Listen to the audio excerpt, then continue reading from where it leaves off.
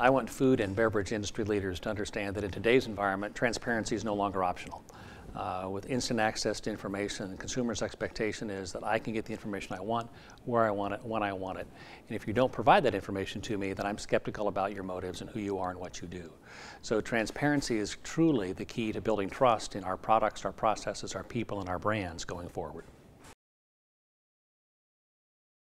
Well, over the last 45 years, we've been taught to become skeptical of institutions as we've seen violations of public trust from business, from academic institutions, from government, from military, et cetera.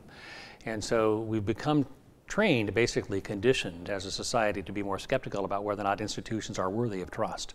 Over that same period of time, we've seen phenomenal consolidation, integration, and application of technology in food, which generally does make it safer, more available, and more affordable. But it also contributes to the perception that food now is in an institution, and therefore, like other institutions, is no longer worthy of public trust. Consumers have told us consistently in both our qualitative and quantitative research that if we increase transparency, we can increase trust. So a lot of companies are still trying to figure out what does transparency mean. We've actually developed a transparency index that measures transparency and provides some very specific step-by-step -step guidance for companies to use when they begin to implement and introduce transparency within their organizations.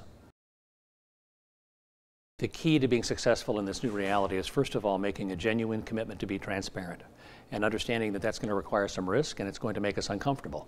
But to be successful, we're going to have to be willing to take that risk and to take that leap of faith. The other thing we know from consumers is if we are more transparent, if we are more engaged in the conversation, they're more willing to give us the benefit of the doubt. If they don't believe we're being open, if they believe we're withholding information, it reinforces their skepticism and belief that we're hiding things and we don't have their best interest at heart. So really being transparent and making a commitment to do that over time is going to be the single most important thing that food and beverage companies can do to continue to earn consumer trust.